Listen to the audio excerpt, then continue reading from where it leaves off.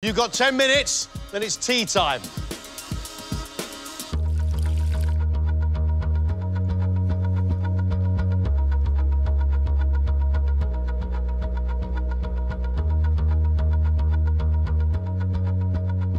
Five minutes. Crikey.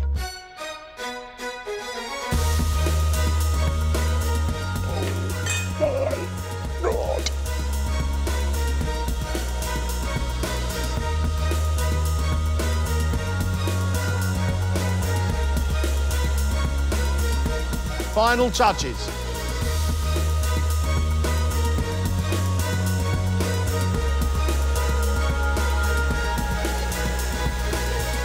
Your time is well and truly up.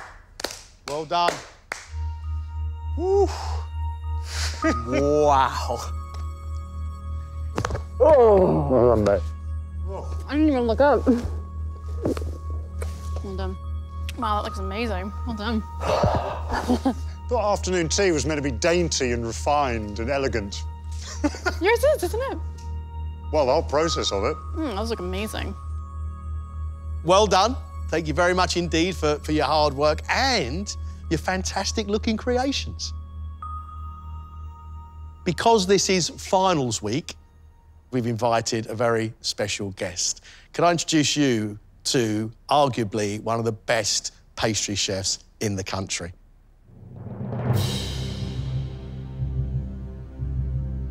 Very talented, an incredibly nice guy. Ladies and gentlemen, Eric Lanlard. Vince. Hello, Eric. How are you? I'm very well, thank you. Cup of tea? Yeah, why not? After serving as a chef in the French Navy, Eric Lanlard came to Britain to work in pastry for the Roux brothers. I've always been attracted to uh, pastries because, first of all, I like the uh, artistic flair behind it. And at the same time, I like how you have to be precise and uh, follow the strict rules behind it. It's not really cooking, it's more chemistry.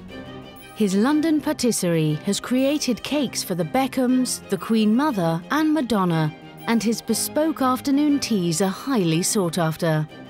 You do adapt to uh, pinch yourself and sometimes do a little dance in the office when you get a phone call coming from someone like Madonna or Buckingham Palace. You always go like, wow, this is uh, incredible. I love afternoon tea. I love everything about afternoon tea.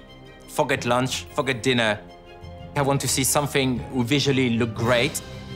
The savory, the sweet, and of course the scones make it different uh, and entertaining. I'm not a great fan of finger sandwiches, and I still don't understand after 30 years why will you stick cucumber into white bread.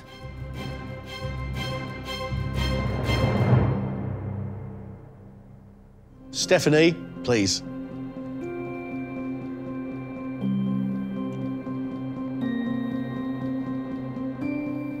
Stefanie has made blinis or pancakes with creamy dill and horseradish prawns, cheddar and sage scones with bacon jam, strawberry basil cupcakes with vanilla buttercream icing, and chocolate dipped puff pastry horns filled with chocolate chai or spiced tea whipped cream. The presentation is really good. I really like it. It's very pretty, very, very pretty. Whoa, look at that. Oh.